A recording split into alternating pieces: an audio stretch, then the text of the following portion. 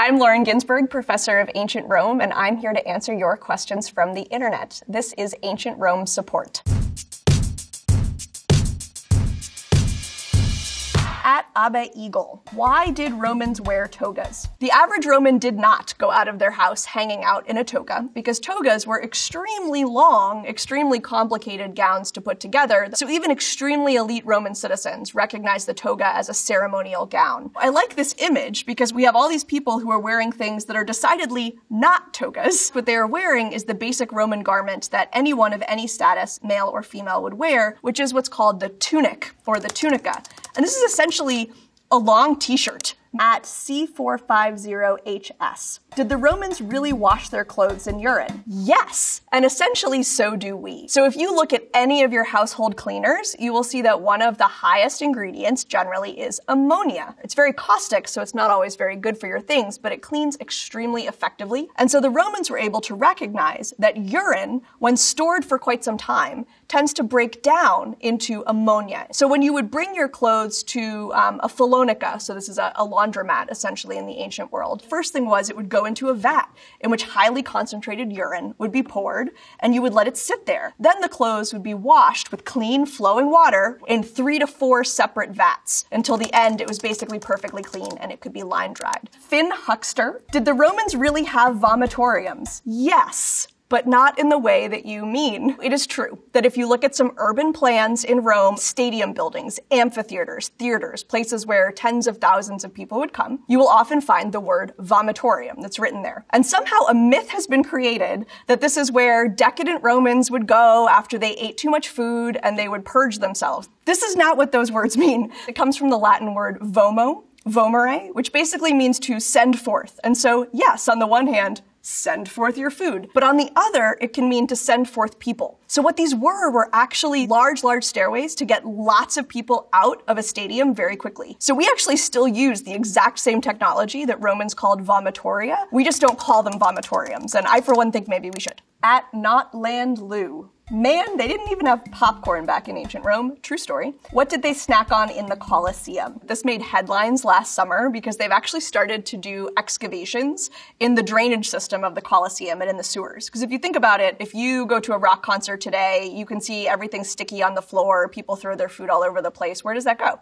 In ancient Rome, it would go down into the drains and it would go down into the sewers. And that means that things that can survive for those millennia, we can be able to tell that those were the kind of foods that were snacked on. All sorts of varieties of of nuts and residues of nuts have been found in these sewers. Fruits, for example, figs and peaches and other fruits, grapes that were easy to carry. Also, what they discovered was that people seemed to bring, or at least have access to, small portable grills, sort of like tailgating grills, little braziers, where they could grill meat at the time as you watched people fight to the death and animals die. At Jua Dog, why does concrete from ancient Rome stand up better than modern concrete? If we look at this dome, in the Pantheon of Rome, it looks pretty spectacular today. If we consider that this dome is made of concrete, and we think of a bridge that might have been built in your city in the 1970s, these two things do not look the same. So just this past summer, a team of civil engineers from MIT set out to figure out what this was, and they think that they have an answer. If you look at Roman concrete, you can see in the matrix these chunks of white material. So this group of MIT scientists figured out that these white chunks called lime clasts were deliberate and were also proof that the Romans used something called quicklime, as opposed to lime that had been pre-mixed with water, which had always been the assumption. And the quicklime superheats the chemical process as it makes concrete. And so one of the things we've always known about Roman concrete is that it can harden really quickly, including underwater. Also, the other property that they were able to recreate in the lab was that Roman concrete can be self-healing to a certain amount. So if you put modern concrete and Roman concrete in a stress environment so that the concrete cracks, Roman concrete can actually heal that cracks.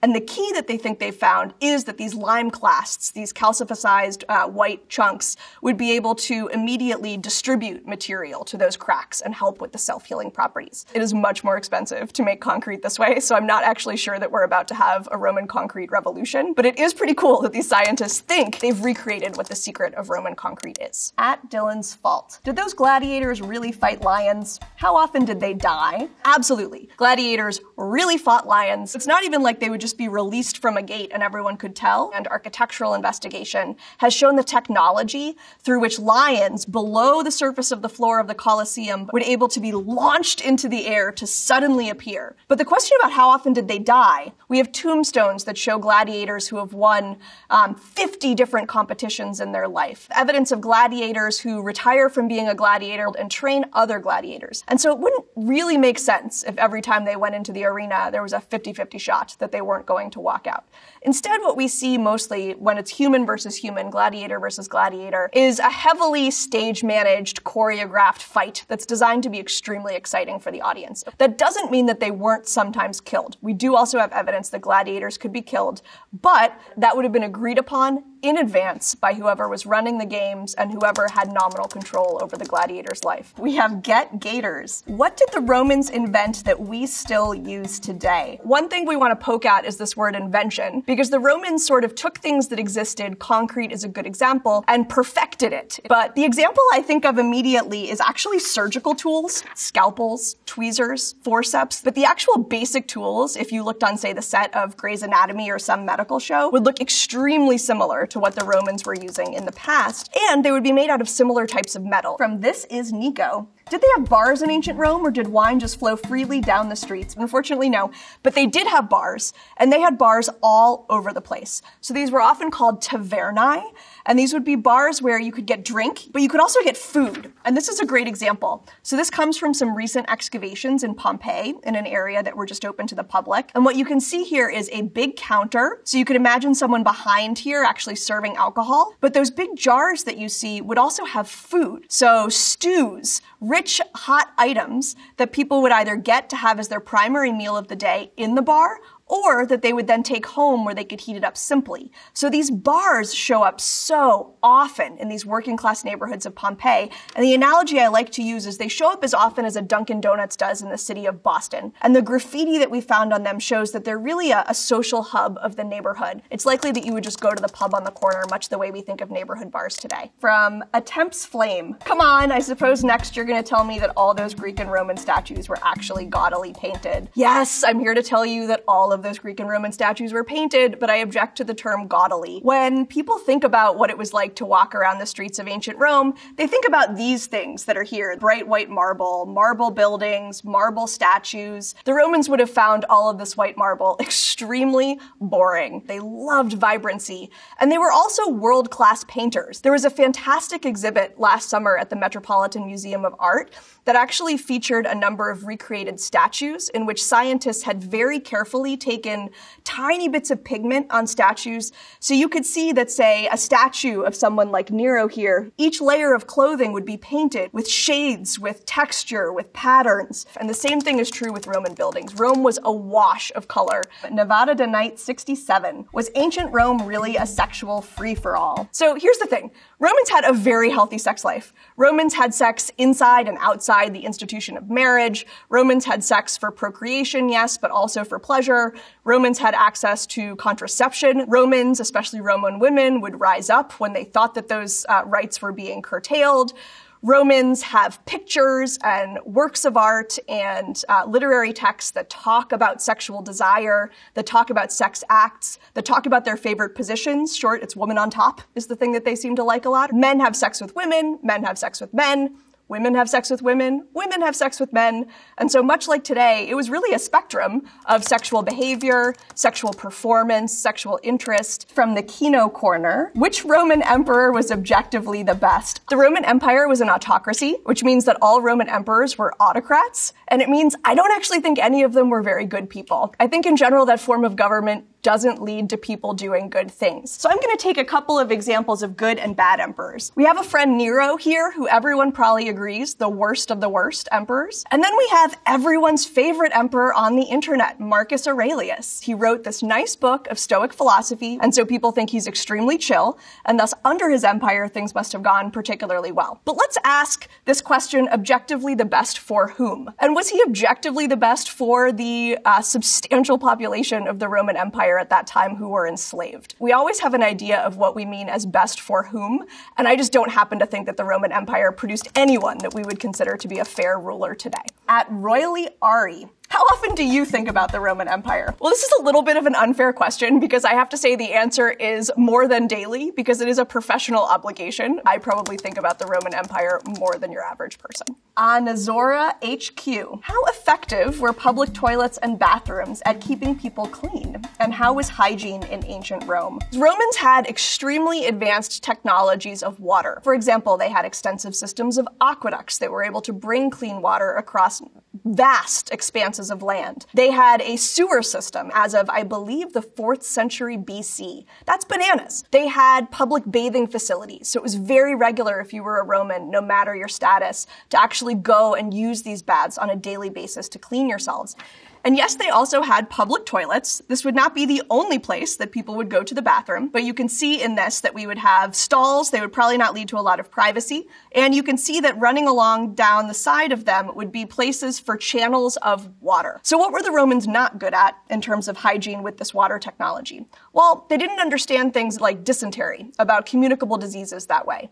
And so if you're having, um, say, reusable toilet paper, which in the Roman world would be a sea sponge, and it's being cleaned in vinegar, which can do some things, that's not going to stop things like dysentery from being passed along. Anazora HQ. What kind of toys did Roman children play with? We have so much wonderful information about the value that was put on playing as a social emotional strategy for raising Roman children. One of my favorite is actually this doll. This particular one is made out of ivory. And what's so impressive about it is you can see that the limbs are articulated. So you can see that you can sit this doll down, you can have her stand up. And this doll actually also has the famous hairstyle of the Roman empress at the time, Julia Domna. So she's also a high fashion doll. We know that dice games were very common, walking toys that would clearly teach little toddlers how to walk, and a lot of the building blocks that teach children how to play with each other were considered particularly important. And with this doll could also be considered extremely beloved objects that someone would keep well past their girlhood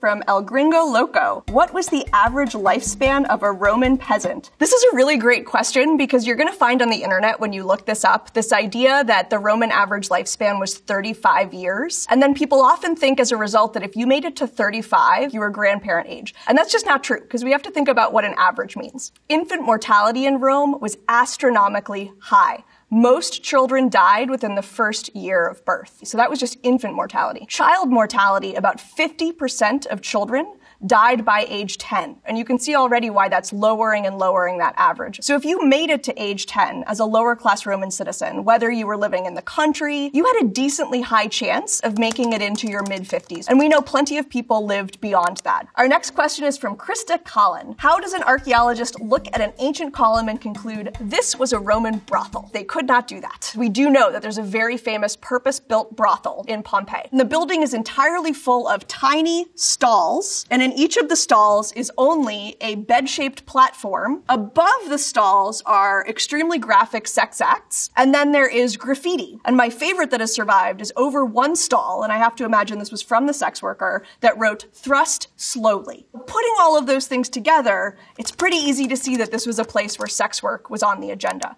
Namahona Tuitu, what rights did Roman women gain in imperial Rome? Roman women couldn't vote, and that's a big one. But Roman women could be citizens. Roman women could own property in their own name. They could inherit property in their own name. Roman women could be business owners, and some of whom were using their own business sense to advance their children, especially their sons, in their political ambition. Roman women could hire a lawyer to defend themselves or to bring a suit in court. Roman women lived with a greater degree of freedom across social classes than we're used to seeing in the ancient world. At in cream cakes. How many civil wars did Rome have, including the Byzantine era? That is a very hard question to answer um, for very good reasons. One is that the Romans thought that civil war was something inside them that you had to fight against every day or it would erupt. Romans had documented civil wars, and they're the ones that actually came up with this term, where two Roman armies would fight each other, headed by two Romans. But what's the difference between that and an uprising of enslaved people who are part of the Roman population, like Spartacus? Is that a civil war? What's the difference between the whole system of Roman provinces rising up against Roman rule? They're part of Rome and they're rising up and they're fighting, but they're fighting more with guerrilla war tactics. Do we call that a civil war?